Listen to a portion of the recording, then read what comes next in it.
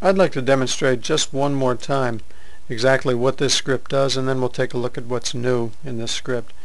As I said earlier we're going to externally manipulate process books so I select a tag I click on this. Now what it's doing is it's going out and doing a get object trying to find process book. It finds process book. It uh, it goes ahead and loads this display or this process book PIW file. If it doesn't find process book, it'll go ahead and launch it using create object. Now once we have this loaded, we then go ahead and find this particular entry. We execute that entry. Once we have the entry, we can then get to the symbols collection and we add a new symbol. So there's several new things that are being done here. Let's take a look at some of the things that are new. First of all, there's a procbooks collection and that procbooks collection has an open method. The open method is what allows us to open specific process book or PDI files. We have a symbols collection that supports an add method like most good collections support. An add method allows us to add a symbol and specify what type of symbol it is. So in this case we're going to add a trend symbol. Finally we have this entries collection.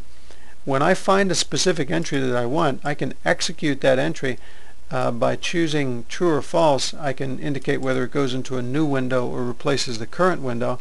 But the execute method of the entries is how we launch a display. We find an entry that is a display and then execute it. Let's take a look at how this runs. I'm going to go ahead and select the pi tag and I'll go ahead and click on this script. I have a breakpoint that stops it at this point now what we're going to do first is we're going to use a get object to see if process book is running. And if this fails, then we should generate an error. And at that point we should go ahead and do a create object. Now in this case it did not fail. Okay. In fact AppX comes back with a value. So since it comes back with a value, we'll go ahead and use AppX. That's a pointer to process book. We're going to activate process book briefly.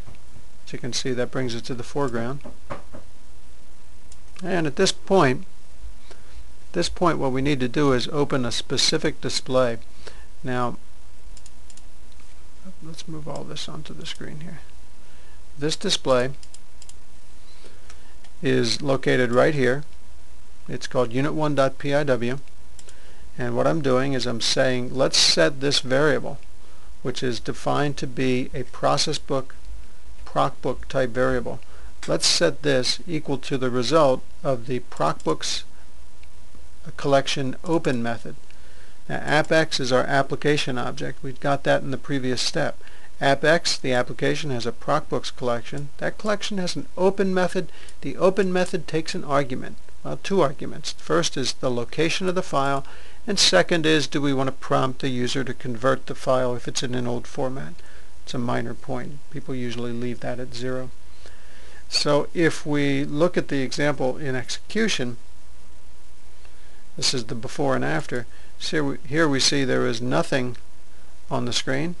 And after we execute this line, first of all, pi PB, or PBKY now has a value. And if we look here, it's gone out and it's found that specific display by using the open method of that procbooks collection. Now we've got a process book that's open. We need to open a display as well because the point of this was to add the trend to the display. Well here's a display called trends. It should be in the entries collection of the process book object. This again is the process book object. If we execute this, this should go ahead and find this trends object and let's see if it did. There we go. It's found the trends object. There it is. That's an empty display and that display is the destination for the trend we're about to add. Now I'm going to do a couple of things that we need to do to this actually is going to go ahead and activate the worksheet so that my active cell will have a value and the big finish to this is we're going to go ahead and add to this item in the displays collection we're going to add to the trends item in the displays collection a new symbol to the symbols collection you can see it right here. TNDZ is currently a variable that's pointing to nothing. It's a trend variable. PBKY is our process book.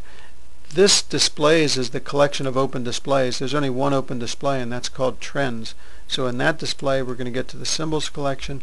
We're going to add a symbol of type 10. Let's see if this works.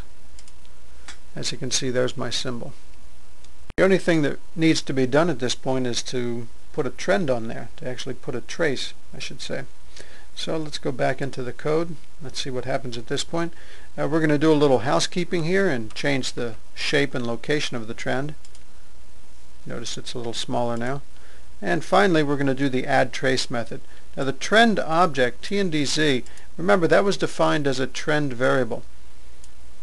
That trend variable is pointing to the result of this add method. And the add method was adding a specific trend. So this is pointing to the trend. Add trace is the method of a trend to add new tags to a specific trace or to a specific trend.